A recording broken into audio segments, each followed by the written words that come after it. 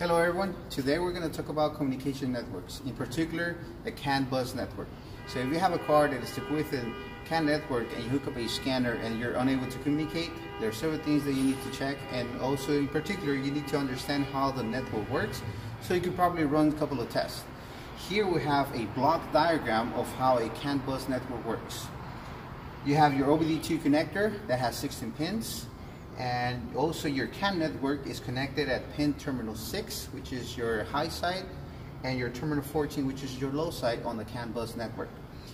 The network is hooked up in parallel so you have several computers hooked up on the same network in parallel and there are two resistors inside a particular computer.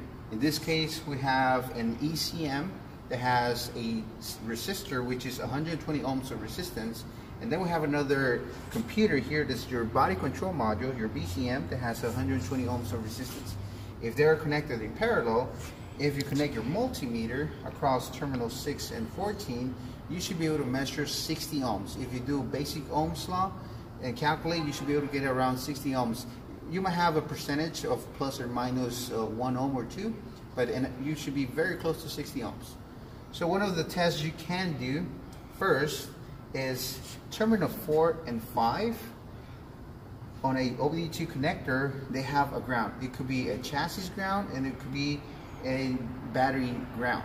So you want to make sure that those grounds are present. Terminal 16 you have battery voltage at all times being supplied through a fuse and goes to your OBD2 connector terminal 16 so one, that should be one of your first tests you should always do. You want to make sure that you're getting voltage at terminal 6 and you're getting ground at terminal 4 and 5. So you can hook up your multimeter at terminal 5 and 16 and you should measure battery voltage. And if you move your meter across terminal 4 and 16, you should still measure battery voltage. That will indicate they have a good ground and a good voltage to the OBD2 connector. If those voltages are, if the voltage and ground are present, that and you still have a no communication issue, then you go and check the network. But if you're missing voltage, usually this fuse on most vehicles, now this will be based on manufacturers. Some vehicles will use the fuse for the cigarette lighter, or some will use for accessories.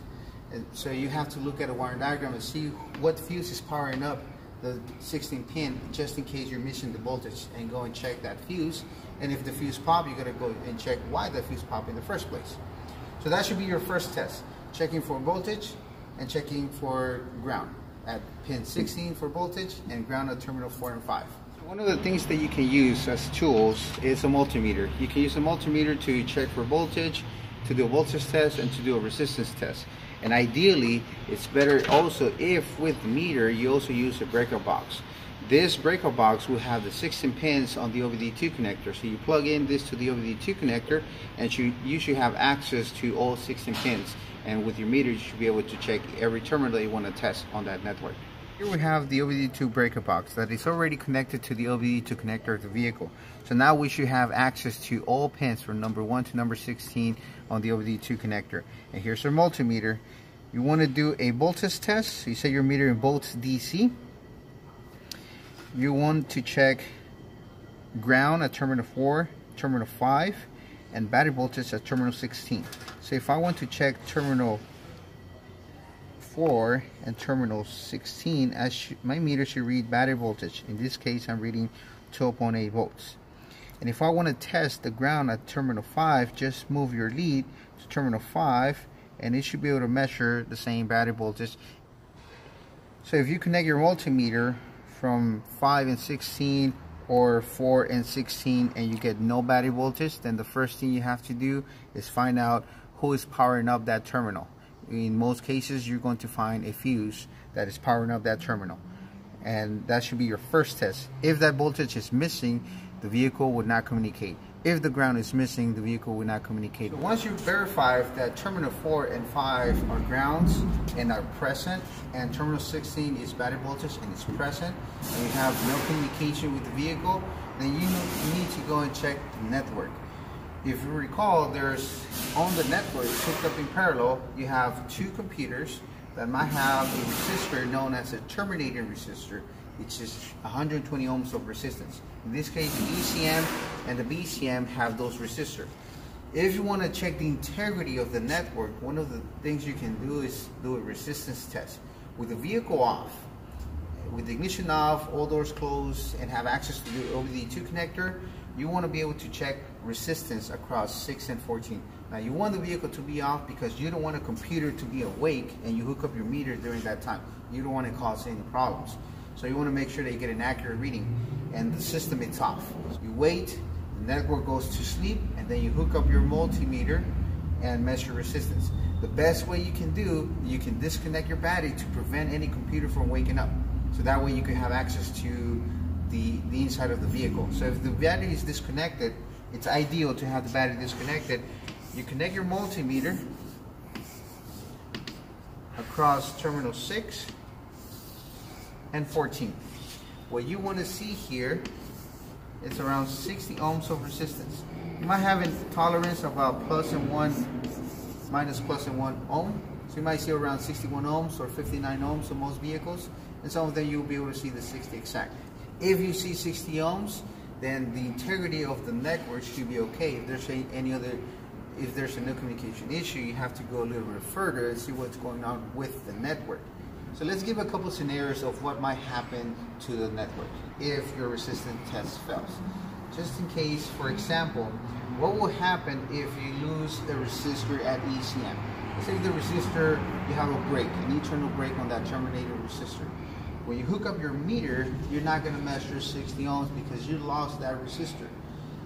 And on the network, if you recall, this is parallel. It's connected in parallel.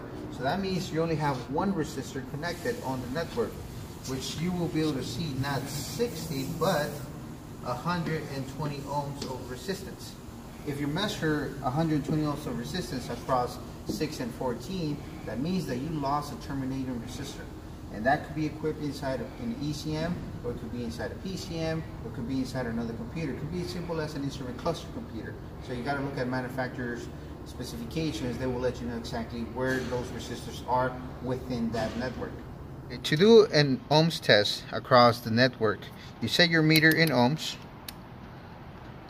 and you want to make sure that your meter is working properly that your leads are okay. So every time here the meter says OL that means overload. That means you have an open between these two terminals. Make sure that your meter works and your leads are okay. So touch your leads together. The meter should show you zero ohms of resistance. In this case we have 0.1 that means you have a 100 ohms of resistance within the leads. And some meters you can actually zero out this and some if you can't zero it out just keep in mind that value and that should be added up to your measurement. So here we're going to go across terminal 14 and terminal 6 we're measuring 61 ohms of resistance you want to see anything from 60 ohms plus or minus 1 ohm. That's the average you will see on most vehicles. But if you measure something as 120 ohms, that means you lost a resistor. So we're going to unplug a computer right now. In this case, we're going to unplug the ECM because we know that in this particular car that we're testing, the ECM has the internal resistor. So we're going to go and unplug the computer so you can see what happens. Okay, so right now we're connected at terminal 6 and 14 from the CAN network. Uh, the integrity of the network shows okay. We're about to unplug the ECM. The ECM has an internal resistor. If we lose that resistor, you should be able to see that change here in your meter. So we're going to unplug the ECM right now. And it gives 128.8 ohms of resistance. So that means we lost a resistor. So if you connect your multimeter across 6 and 14 and you measure 120 ohms of resistance, then that means that you lost a resistor. And if we plug in the computer back on, the resistance should go back to its normal state. Like you see here, 61 ohms. The scenario that could happen, the wires could potentially be touching together or the network could be shorted. So if you hook up your meter across 6 and 14, and the meter displays around zero ohms, that means that you could potentially have a computer that's hooked up in parallel, shorting out the two terminals together, or you could have the wires touching together. So one of the first things, steps you should be able to do, it's you can actually go to each one of the computers and start unplugging a computer at a time. So if I unplug this ECM and the ECM is shorting the circuit internally, as soon as I unplug the ECM out of the circuit, because internally, if it's shorted and it touches those two wires together, that's going to show you zero ohms of resistance. If I unplug the ECM, if that is the problem, my meter will display 120 ohms of resistance because you still have the resistor connected in series, in parallel. So, but if that's not the problem, once you unplug the ECM, you still get zero ohms of resistance, you go and unplug every other computer out of the circuit. So you go to the ABS, unplug it, and look at your resistance value. If the value comes back to the 60 ohms when you unplug the ABS, because the ECM was plugged back then, then you know that the ABS is the one shorting out your signal. If you unplug every computer out of the circuit and you still get zero ohms of resistance, that means you have wires somewhere on your harness, the wires touching together. That's where your meter is showing you zero ohms of resistance. So that's where you'll be able to find with the ohms. The integrity of the circuit are the terminals shorted together or yours. Okay, so here's another scenario. If you connect your multimeter uh, across 14 and 6 and your meter displays this, that's 0.2, that's 200 milliohms when you're supposed to read that 60 ohms of resistance. So that's an indication that the wires are shorted together. Now this could be happening because a module could be shorting out the circuit or it could be wires touching together. So then your job as a tech is to try to figure out what's actually causing this particular short. One of the things you can also do is a voltage test. You can use your multimeter, grab your multimeter, hook it up to a good ground, and touch the, the high side, terminal 6. The high side, usually this is a two-wire network. That means it works from 0 to 5 volts.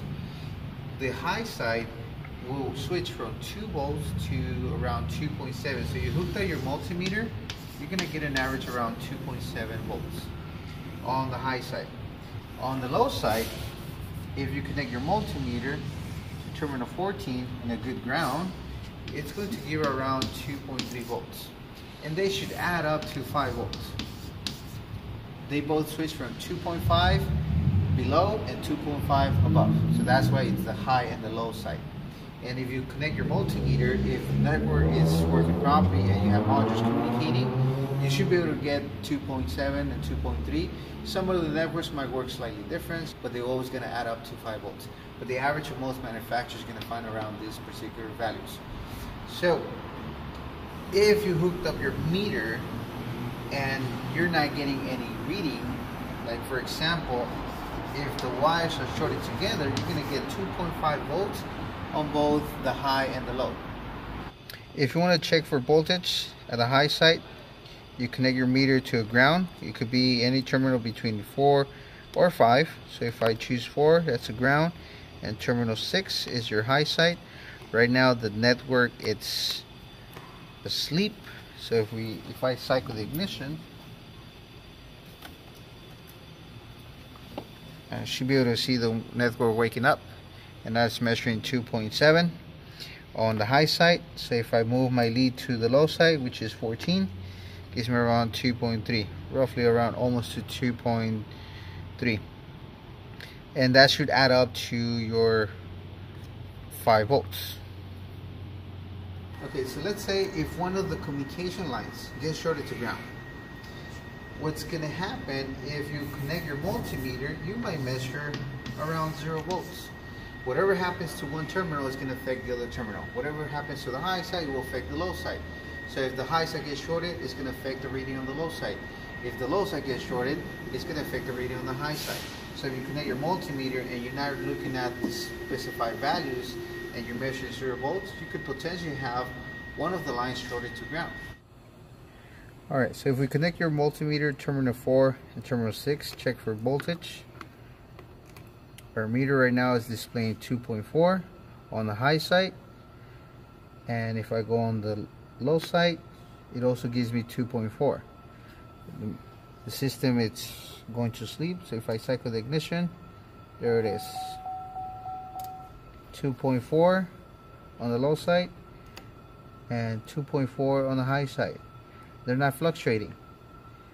So there is some activity, but it seems like they're both are giving roughly around the same voltage.